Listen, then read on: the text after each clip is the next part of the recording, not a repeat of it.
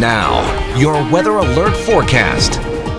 It's been a warm start to the month of November, and it looks like that trend is going to carry over even into the weekend. Our afternoon high temperatures will be climbing into the low 70s area wide across Nebraska, even into Iowa, down to the south over Missouri and Kansas. So if you do have any travel plans this weekend, looks like some terrific weather conditions. Pinpointing some of those numbers for you as we go into the afternoon, we're looking at a high of about 73 in Wayne, mostly sunny skies. Our winds will be very light from the southwest at 5 miles an hour.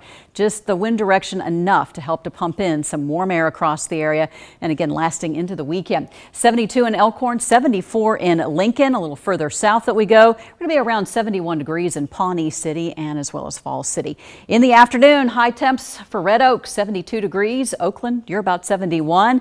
And even further north into Iowa we go. Denison and Carroll, maybe pushing close to 74 degrees. With tons of sunshine across the area, that means that temperatures will remain way above average. Normal high this time of the year around 56 degrees.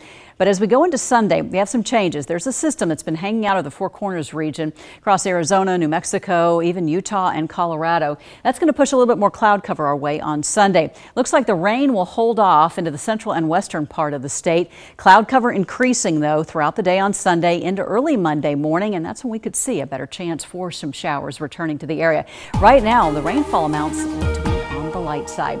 Okay, so later tonight, well, we're looking at that time change. So it is that time of year once again where we have to set those clocks back an hour. So that means that before you go to bed, Daylight savings time starts Sunday morning at 2 a.m. So just a reminder, don't forget about your clocks uh, before you go to bed at night. 72 degrees, another warm day on Sunday. Drop it back to about 66 degrees on Monday with a, a chance for some scattered showers across the air. And I think most of the activity occurs uh, before lunchtime, may linger into the early afternoon. 67 election day, still a mild day. And it looks like more sunshine returning by Wednesday. Drop it off to 63, right back up again in the upper 60s for Thursday and Veterans Day on on Friday. That's when we see a change coming our way. Another front moving in and high temperatures will drop back closer to normal for this time of the year. Even though we don't have any severe weather in the forecast, always a good reminder, download the Storm Shield app so you are prepared.